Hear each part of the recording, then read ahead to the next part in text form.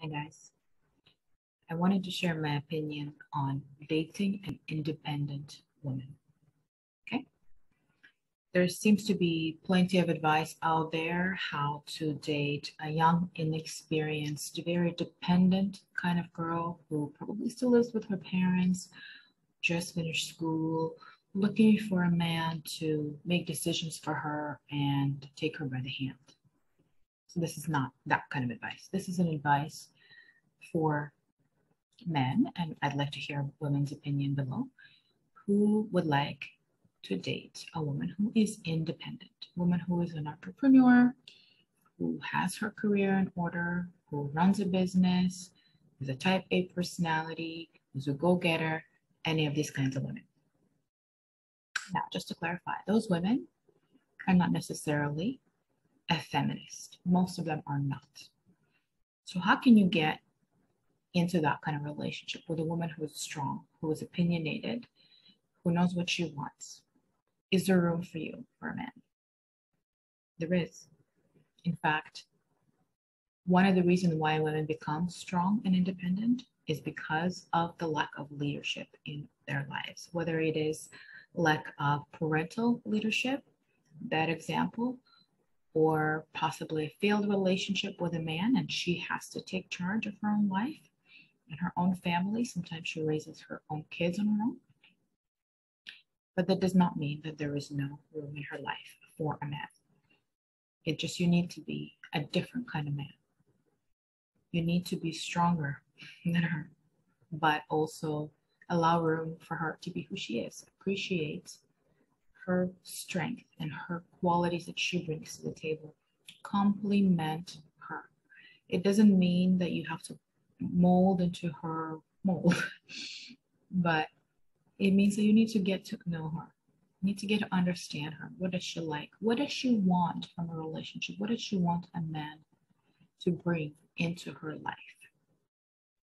From what I've gathered from a lot of women who are strong, opinionated, and run their own businesses, that there's plenty of room for a man. A woman who runs a business during the day wants to kick back at night, wants to cuddle and lean on a strong chest and chat about her day, about her struggles, about something that happened at work, about what she needs help with, about helping her making a decision.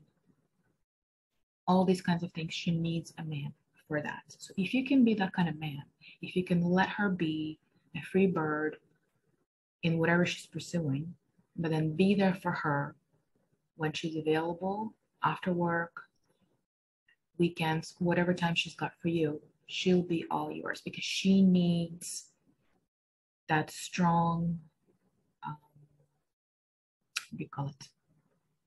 Stronghold to lean on. She needs support. She needs encouragement, just like anybody else.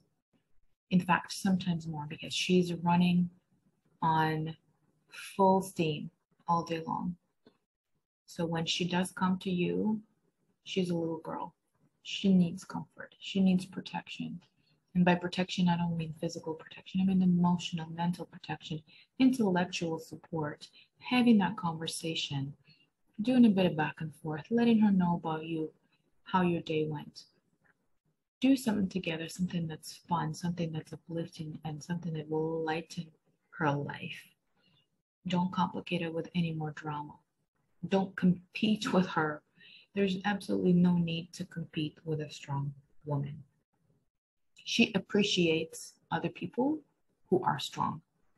So if you are solid, she will know that. If you're insecure, if you need something to prove, if you have something to prove, she will feel that it's not going to work.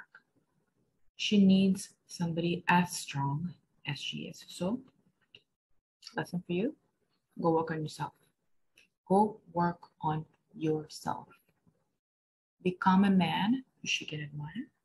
Become a man who she can respect. Become a man who she can look up to. Be unshakable, be strong, and you will not be intimidated by her strength, by her success, by the fact that she may be busy and have priorities in her life, and that you may not always be number one priority.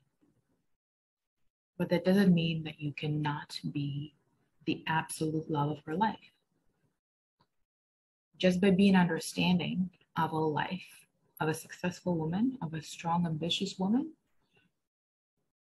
if you even give her an idea that you understand what she's going through and how strong she is to do what she's doing, you give her that acknowledgement, support, that validation. Anybody needs validation.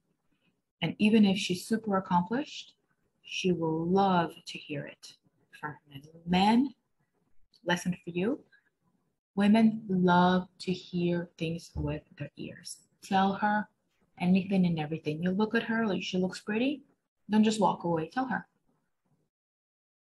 You walk by her, she's busy at work. Tell her I admire her dedication. Talk. Speak up. Give her compliments, acknowledgments, validation. She will be so grateful. You will receive it back multiple folds.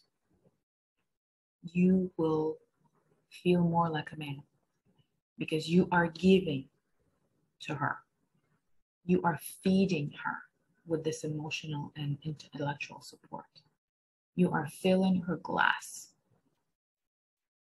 Because even if she seems independent and successful, she still has room for you to fill that cup at validation, support, complimenting her, acknowledging her for her success, even if those are little things.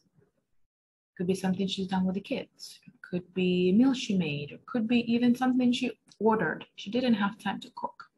She ordered a meal and it was good. Compliment her. Most of the advice I hear is reverse. Women should always compliment the men. Women should always praise the men. Women should always give men the praise. Who's going to give the praise to women? And yeah, okay, the, the women that are weak, um, dramatic, insecure, uh, dependent, they may seem like they may need that support. And women who are strong and independent may not seem like they need that support, but you got it wrong, guys. It's the other way around. A woman who is strong and successful, you have a reason to give her acknowledgement. You have a reason to compliment her on her success. She worked hard not only on herself to become the person that she is, but also on whatever venture she's pursuing, even if it's just raising a family. A woman in these in these days, women in this century work hard.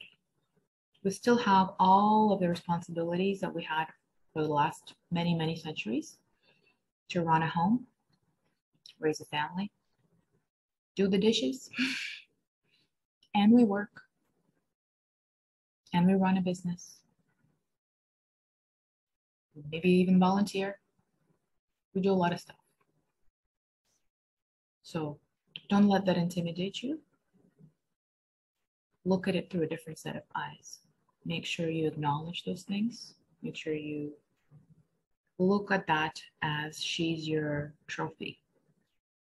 Like she brings so much to the relationship. She brings so much to the table. She's so much of a person. You'll never be bored. You'll never run out of things to do. You'll never run out of things to talk about. She is a multifaceted, well rounded human being who's got her crap together. You're up for that challenge. Let me know in the comments. Are you up for that challenge or would you rather just settle with, you know, a Barbie doll who just follows you and a yes woman and a doormat? Would you prefer that? Let me know.